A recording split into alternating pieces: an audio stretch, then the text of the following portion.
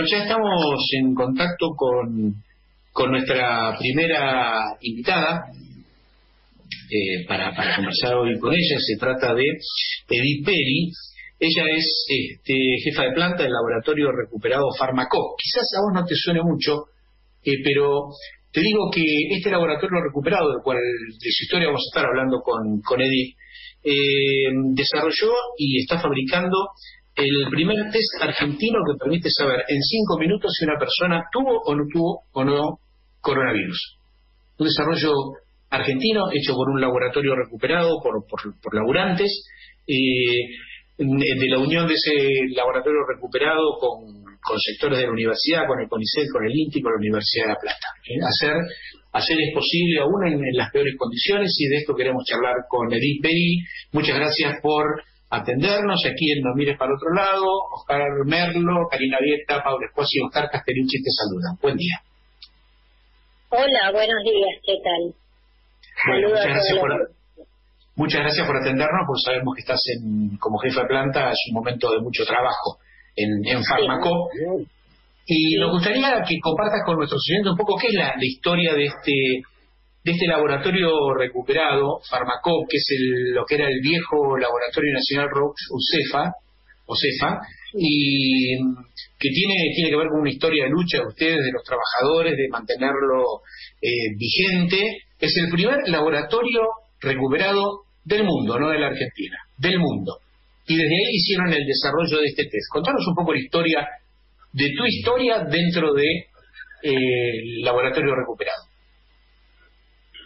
Bueno, el laboratorio era un laboratorio de mucho prestigio, eh, llamado eh, Laboratorio Josefa. Yo entré a trabajar en el año 1983 y ahí trabajé eh, jovencita. Este, la verdad que era un lindo trabajo, había 400 familias que vivíamos de eso, que trabajaba muy bien, era, era una fábrica muy importante y bueno, trabajamos muchos años eh, produciendo sueros, medicamentos de todo, de todo tipo, hasta que bueno, empezaron a, a, no pagarnos, a no, no nos daban los, los aguinaldos, fue un desastre todo un tiempo terrible, hasta que en el año 2016, este, bueno, decidieron cerrar las puertas, nos dejaron a todos en la calle, hubo este, eh, una, una terrible tristeza para todos nosotros los trabajadores que estábamos ahí. Y bueno, entonces, la verdad que fue, yo que soy una de las más antiguas, eh, decidimos con un conjunto de chicos, de compañeros, este, jovencitos que tenían todo el entusiasmo de, poder recuperar nuestro trabajo, porque todo fue una gran mentira. Este, decían que estaba todo mal, que y, y bueno, en realidad no venían pagando nada. Nos dejaron a todos sin trabajo. Y bueno, la verdad que fue un, mucho, muchos años de mucha lucha, pero este, hubo ocupación, decidimos recuperar nuestro, nuestro trabajo y tuvimos que acampar en la puerta, este, hacer vigilias entre todos, los compañeros éramos un grupo reducido en realidad, este, porque no todos estaban de acuerdo con eso. Y, este, y bueno, entonces decidimos hacer eso y después de mucha lucha, de mucho tiempo de ir y venir a los juzgados, este, nos llegaron a dar la, este, la, la continuidad. Y la verdad que hoy por hoy tenemos tanta trabajadora este, con un grupo de compañeros que estamos súper orgullosos de lo que conseguimos. Después de muchos años, ¿no? Eh, Oscar Mano te, quiere hacer una pregunta y le decimos a nuestros oyentes que este laboratorio Farmacop tiene dos plantas, tenía históricamente dos plantas, en Roux Josefa, una planta en Villaluro y Mataderos, como dijiste vos, 400 personas. Este, por eso están luchando ustedes. Eh, Merlo te quiere hacer una pregunta. Sí, Edith, buenos días. Eh, eh, además del esfuerzo de este, vos siempre hay un grupo que es más, que, que impulsan más, hay un grupo que por ahí este, eh, digamos, no se decide, tiene miedo. Eh, y, pero digo, ¿con quién contaron para, digo, me imagino que haber contado con algunas alianzas, algunos apoyos que les deben haber permitido llevar adelante esto, porque solo, solo como trabajadores muchas veces es bastante difícil. Eh, digo porque, porque seguramente es así. ¿Te podés recordar? ¿Te parece mencionarlo? Sí, sí, estábamos acompañados por el, el señor Vasco Murúa, que es el, representante de todos los trabajadores de empresas recuperadas. Él nos, nos asesoraba y estaba siempre con nosotros. Este, y por eso también pudimos tomar la decisión firme, porque él es importante, en empresas recuperadas y él nos dio una, una mano muy importante. Y tuvieron acompañamiento del barrio, ¿no? ¿Cómo, cómo? Que tuvieron el acompañamiento del barrio, además de, de las instituciones. Sí, sí, sí, por supuesto. El barrio, nosotros hacíamos acampe en la en la vereda de la, de la empresa eh, y la gente, los, los vecinos nos acompañaban, nos traían que comer porque no teníamos y nos quedamos ahí en la puerta y ahí eh, todo el, barrio nos ayudó, todo el mundo venían de todos lados a colaborar con nosotros. Edith, ¿y desde lo financiero cómo hicieron? Porque seguramente tendrían algún problema de, de, necesitar capital, por lo menos crédito, para seguir trabajando, ¿no?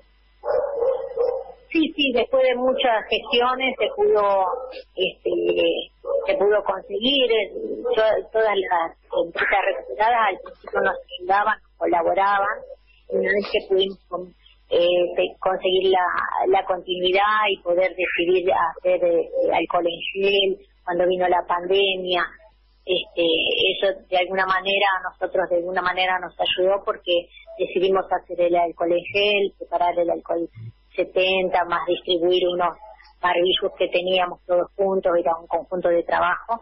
Y después este el Ministerio de Desarrollo también nos ayudó.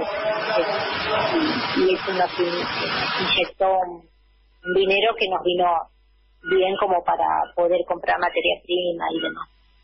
¿Cómo, cómo hicieron, este, Edith, el, el contacto que les permitió de ese primer pasito del alcohol en gel, de los barbijos, llegar a este punto de ser eh, los productores, que entiendo que empezaron ahora, ya en estos días, eh, a desarrollar la idea y en la producción del primer test que argentino, reconocido por la ANMAT, que permite, bueno, detectar los anticuerpos del COVID, ¿no? Ustedes se vincularon con universidades. ¿Cómo fue ese paso?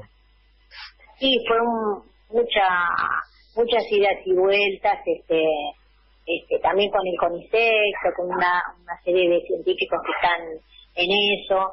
Este, la verdad que yo el tema ese mucho no no no, no me implico porque son ellos los que están eh, con ese tema del, del, desarrollo, pero la verdad que fue una ida y vuelta de mucho ir a todos lados y pedir ayuda y después la prensa nos ayudó mucho demostrando a nosotros que éramos fieles en el trabajo, entonces se acoplaban a nosotros a decir, sí, somos un, representante de trabajadores y, así fue que el Comité se acercó este, junto con el de Bambú de los científicos de La Plata para para poder llegar a hacer el test y en nosotros que tenemos la planta y tenemos la mano de obra este, pudimos llegar a hacer este test tan importante en la época ahora que tiene que ver con la pandemia. La verdad que estamos re orgullosos con eso. Es mucho trabajo, mucha responsabilidad, pero lo hacemos con, con todo el orgullo. ¿Qué producción, que vos estás en la parte de producción, qué producción están estimando? No para que me tires un número, pero sí cómo, cómo, cómo están abordando ese tema. Eh, ¿Qué tienen previsto?